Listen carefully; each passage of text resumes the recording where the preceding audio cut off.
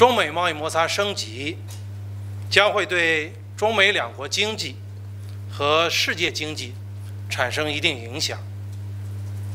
就中国经济而言，影响完全可控。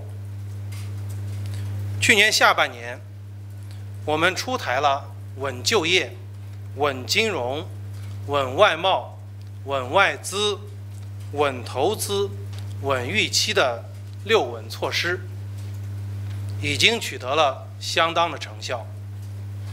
我们将进一步实施好六稳措施，解决企业面临的困难。